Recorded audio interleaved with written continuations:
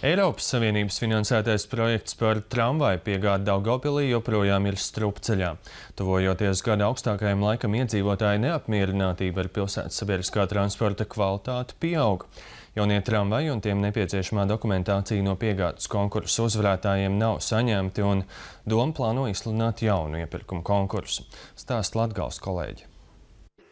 Jau 21. oktobrī beidzās termiņš, kurā piegādātāju apvienībai, Baltkrievijas uzņēmumam Belkom un Maš un Latvijas Jēgmena Consulting Bureau bija jāpiegādā Daugavpilī 12, 4 un 6 vagoni. Taču no piegādātājiem saulēcīgi netika saņemta nepieciešamā dokumentācija, kā arī paši tramvaji. Mēs pildījām tās prasības, kas ir noteiktas mūsu saistībās, ap, apgūstot Eiropas Savienības līdzekļus, un mūsu partneri īsti nevarēja šīs prasības izpildīt.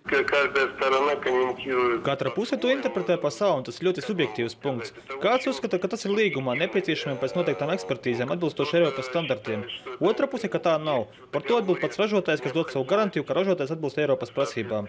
Pagājušajā nedēļā Daugavpils domes pārstāvi viesojās Minskā, lai mēģinātu rast izēju no situācijas pārunu ceļā, jo piegādātāji draud vērsties šķīrētiesā. Tāpat dome plāno lūgt satiksmes ministrijai pagarināt projekta īstenošanas termiņus līdz 2015. gada augustam, lai nezaudētu Eiropas Savienības piešķirtos līdzekļus. No projekta attiecināmajām izmaksām gandrīz 8,5 miljoniem latu 83% līdzfinansē Eiropas Reģionālās attīstības fonds. Mēs organizējam jaunu iepirkumu, gatavojam visus dokumentus, tagad lūdzam visas nepieciešamās atļaujas un saskaņojumus.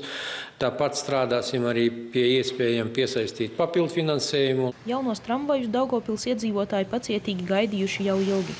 Veco tramvaju modeļu stāvoklis ir neapmierinošs. Daudzi no tiem nav mainīti kopš padomju laikiem. Veci kā jau veci, kļuvuši augsti, veciem cilvēkiem grūti iekāpt un augsti pakāpieni.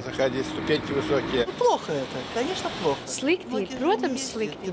Daudzi jau nebrauc, nemaz nedomā par to, bet pasažieri, kas braukā, domā par to, lai būtu ērti, ērti ar ratiņiem iekāpt. Šķiet, ka neērtības sabiedriskajā transportā Daugavpils iedzīvotājiem nāksies paciest vēl kādu laiku, jo šobrīd dome gatavojas izsludināt jaunu tramvaju iepirkuma konkursu. Māra Skredele, Mihails Riškovs, Latgales reģionālā телевізії.